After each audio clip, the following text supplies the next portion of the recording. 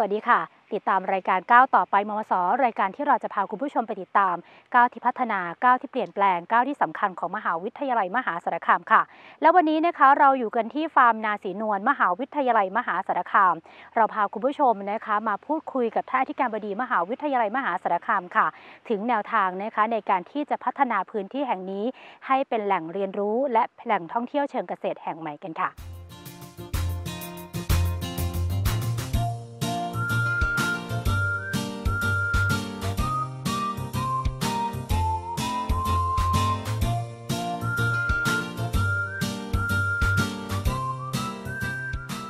มหาวิทยาลัยมีแนวทางในการพัฒนาพื้นที่นาสีนวลให้เป็น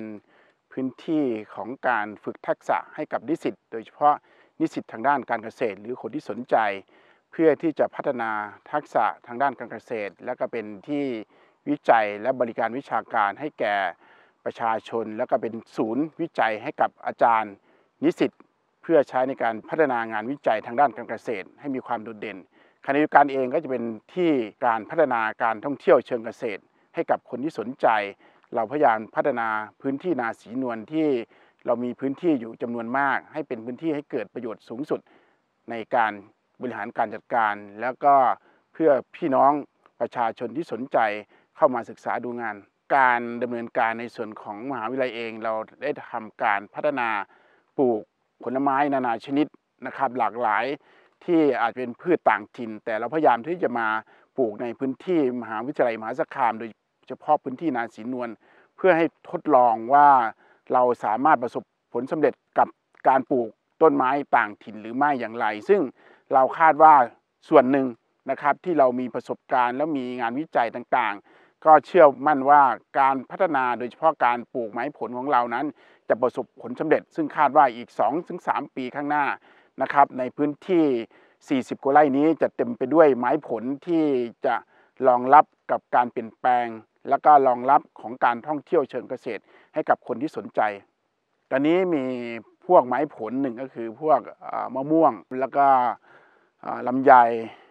แล้วก็ลิ้นจี่พันนครพนม และลิ้นจี่พันจักรพรรดิพวกมังคุดนะครับ แล้วก็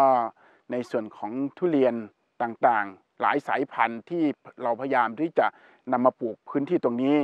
ซึ่งเบื้องต้นก็ได้ผลดีในระดับที่มีการเจริญเติบโตของพืชเอง สามารถเจริญเติบโตได้ดีในพื้นที่ของตรงนี้นะครับ พื้นที่ตรงนี้เรามีหลากหลายคณะที่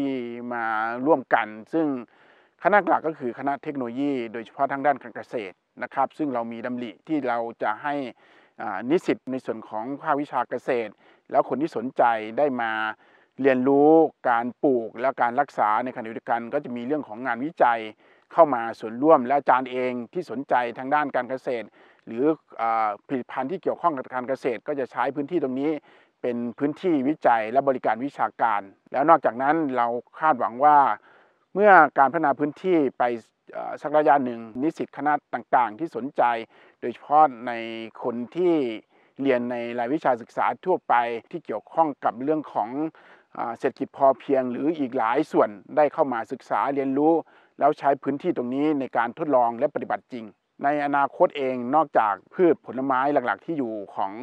ประเทศไทยเอง เราก็มีพืชต่างถิ่น โดยเฉพาะอินทผลัมเอง ที่เรากำลังจะปลูกอีกประมาณ 50 กว่าไร่นะครับ ซึ่งก็เป็นพื้นที่หนึ่งที่มีความสำคัญ ซึ่งคาดว่าจะได้ผลดีในพื้นที่ที่เราปลูก แล้วอีก 2-3 ปีก็น่าจะเป็นพื้นที่รองรับการท่องเที่ยวเชิงเกษตร ในขณะเดียวกันเองมหาวิทยาลัยกำลังในการที่จะสร้างเอาเล t ในการเป็นที่พักผ่อนหย่อนใจ ที่ขายผลิตภัณฑ์ทางด้านการเกษตรนะครับให้กับผู้ที่สนใจ ให้กับนักท่องเที่ยวที่ชอบทางด้านเกษตรเข้ามาในพื้นที่แล้วก็ใช้เอาเล t ของเรา ซึ่งผมคิดว่ามหาวิทยาลัยก็จะน่าจะสมบูรณ์ในการทำทุกอย่างนะครับประมาณปี 65 ก็น่าจะสมบูรณ์มากยิ่งขึ้น ในขณะเดียวกันเราก็ให้ความสำคัญด้านปศุสัตว์เองมหาวิทยาลัยเองก็จะมีแนวทาง ในการที่จะมีการเลี้ยงสัตว์นะครับ โดยเฉพาะโครเนื้อต่างๆ แล้วก็อีกหลายชนิดที่จะเกี่ยวข้อง ซึ่งจะเป็นพื้นที่ให้คนที่สนใจทางด้านการบริษัทได้เข้ามาศึกษาเช่นเดียวกัน